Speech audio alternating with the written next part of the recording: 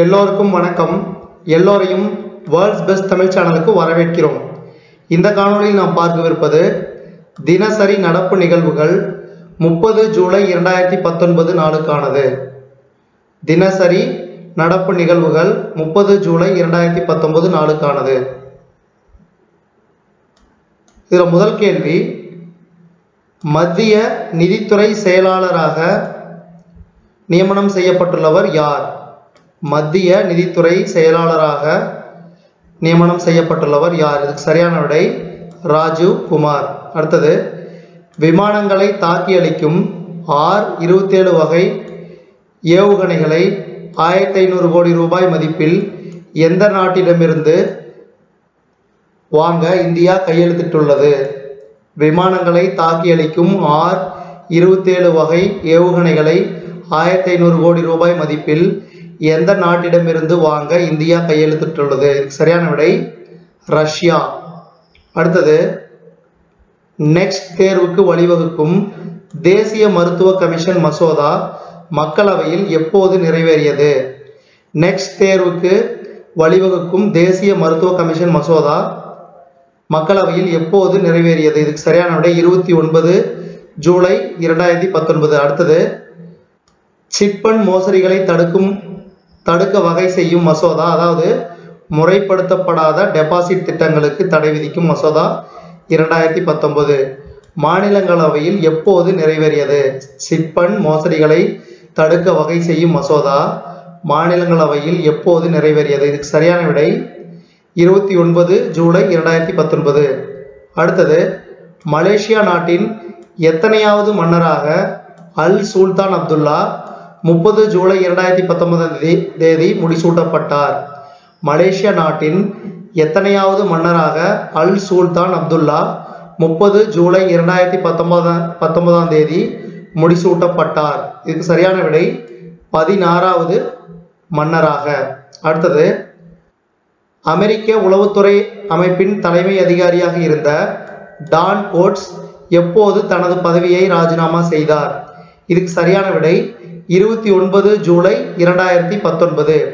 அமெரிக்க உளவுத்துறை அமைப்பின் தலைமை அதிகாரியாக இருந்த டான் கோட்ஸ் எப்போது தனது பதவியை ராஜினாமா செய்தார்? இருபத்தி ஒன்பது ஜூலை இரண்டாயிரத்தி பத்தொன்பது. அடுத்த கேள்வி.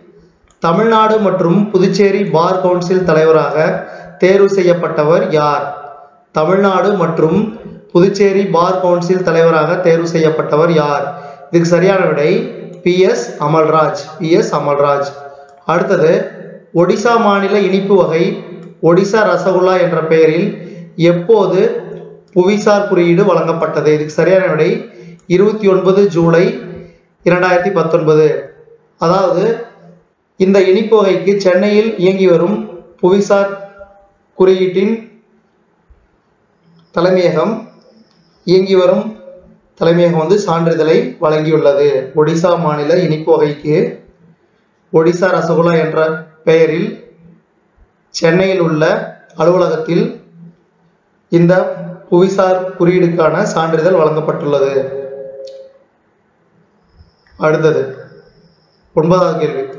உத்தரப்பிரதேச மாநில கவர்னராக நியமிக்கப்பட்ட ஆனந்திபென் பட்டேல் எப்போது பதவியேற்றார்? அதுக்கு சரியான விடை இருபத்தி ஒன்பது ஜூலை இரண்டாயிரத்தி பத்தொன்பது.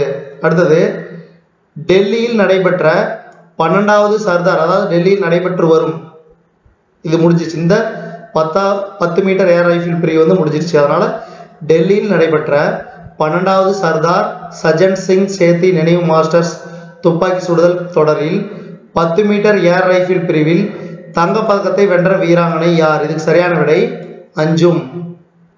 அடுத்தது அது மட்டும் இல்லாமல் மற்ற மற்றவங்க யார் யார் வந்து பதக்கங்களை வென்றாங்க அப்படிங்கிறத பார்க்க போகிறோம் பெண்களுக்கான பத்து மீட்டர் ஏர் ரைஃபிளில் ஜூனியர் பிரிவில் இளவேனில் வெள்ளிப்பதக்கத்தை வென்றார்.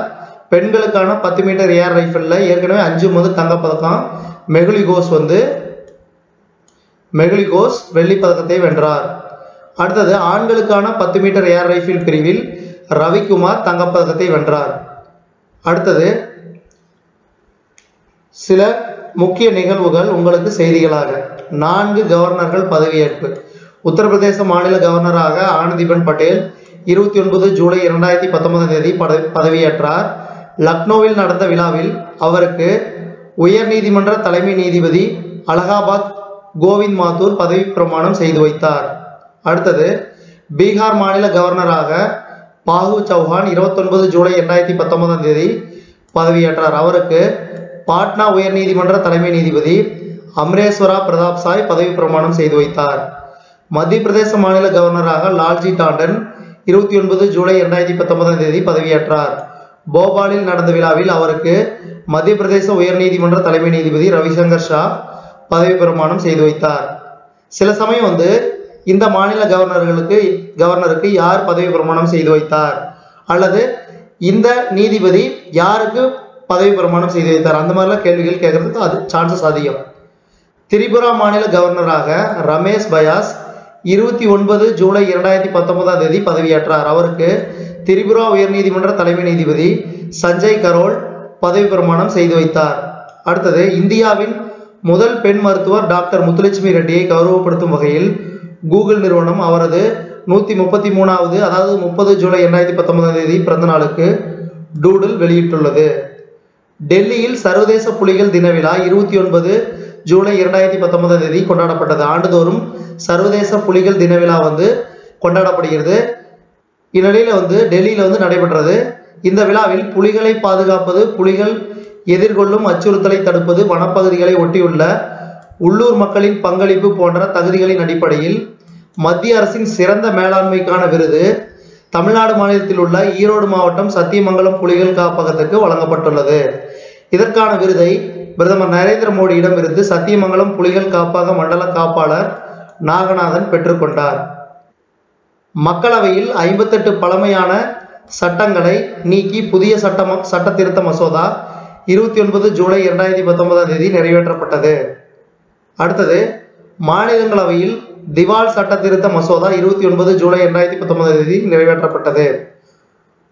தடை செய்யப்பட்ட ஊக்க மருந்தை பயன்படுத்திய விவகாரத்தில் இந்திய கிரிக்கெட் வீரர் பிருத்திவி ஷாவுக்கு எட்டு மாதங்கள் விளையாட தடை விதித்து பிசிசிஐ நடவடிக்கை எடுத்துள்ளது. இதுவரைக்கும் நம்ம இந்த காணொலியில் பார்த்தது தினசரி நடப்பு நிகழ்வுகள் முப்பது ஜூலை இரண்டாயிரத்தி பத்தொன்பது நாளுக்கானது. இந்த காணொலி உங்களுக்கு பிடிச்சிருந்துச்சுன்னா லைக் பண்ணுங்க கமெண்ட் பண்ணுங்க. மறக்காம இந்த காணொலி உங்க நண்பர்களுக்கும் மற்றவர்களுக்கும் ஷேர் பண்ணுங்க. அதே மாதிரி இந்த காணொலியில் ஏதாவது தவறு இருந்துச்சுன்னா நீங்க வந்து கமெண்ட் பாக்ஸ்ல தாராளமா தெரிவிக்கலாம். அதே மாதிரி இது வரைக்கும் நம்ம வேர்ல்ட்ஸ் பெஸ்ட் தமிழ் சேனலை சப்ஸ்கிரைப் பண்ணாதீங்கன்னா சப்ஸ்கிரைப் பண்ணிக்கோங்க. கீழே இருக்கிற பெல் பட்டனை ப்ரெஸ் பண்ண மறந்துடாது எதுக்காகனா நாங்கள் எப்போல்லாம் புது வீடியோ அப்லோட் பண்ணுறோமோ அப்போ உங்களுக்கு நோட்டிஃபிகேஷன் கிடைக்க போகிறோம் நீங்கள் சீக்கிரமாக பார்க்க முடியும். நம்ம வேர்ல்ட்ஸ் பெஸ்ட் தமிழ் சேனல்லேருந்து தினசரி நடப்பு நிகழ்வுகள் முப்பது ஜூலை இரண்டாயிரத்தி பத்தொன்பது நாளுக்கான காணொலியை நம்ம வேர்ல்ட்ஸ் பெஸ்ட் தமிழ் சேனலில் பார்த்தமைக்கு நன்றி.